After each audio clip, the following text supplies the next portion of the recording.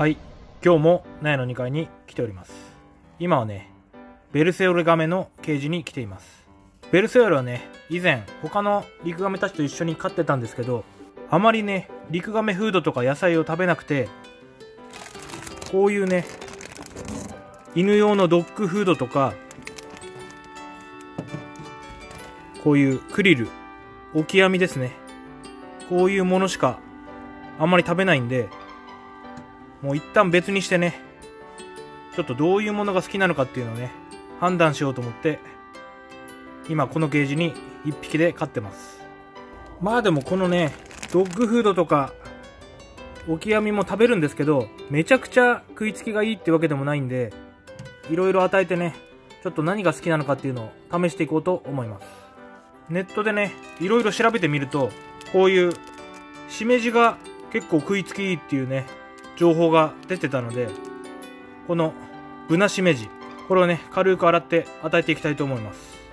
あとはねこちら乾燥糸ミミズですね。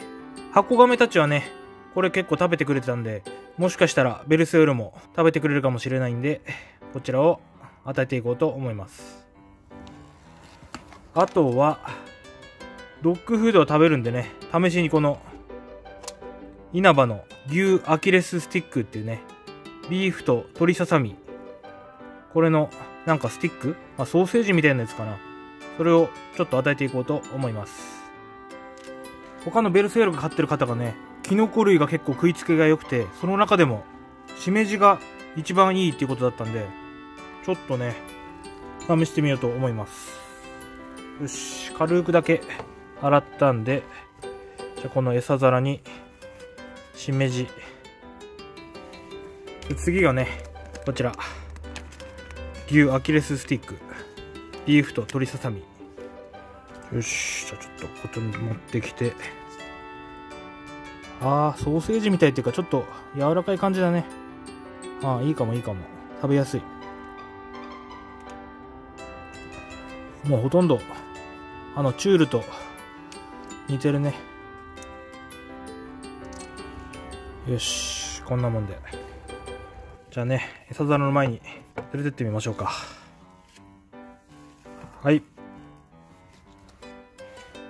どうかな？動きません。お？やっぱしめじがいいのか？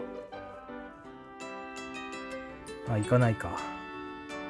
まあタイミングもあると思うんでね。ちょっと様子見てみましょう。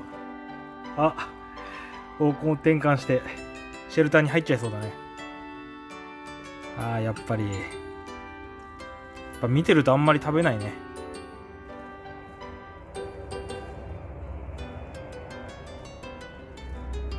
ちょっとまた出てきたタイミングでちょっと見てみましょう。また出てきたんでね。今度この乾燥糸ミミズもちょっと追加してみましょう。でちょっと湿らせてね。どうだ？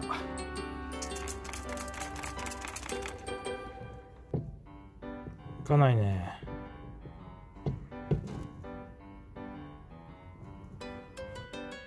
お腹空いてんじゃないかな。前に持ってってもダメかな。はい。食べませんね。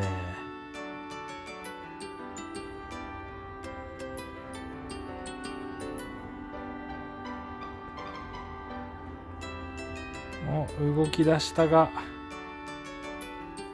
餌には目もくれないね。はい。結局見てるとね食べないみたいだね。まあちょっと根気強くまた与えていって様子見ていきましょう、まあ、またいろいろ調べてね他の食材も与えていこうか。まあ最終的に食べなければねピンクマウスでも買ってきて与えようかなと思います。それじゃあ皆さんまたね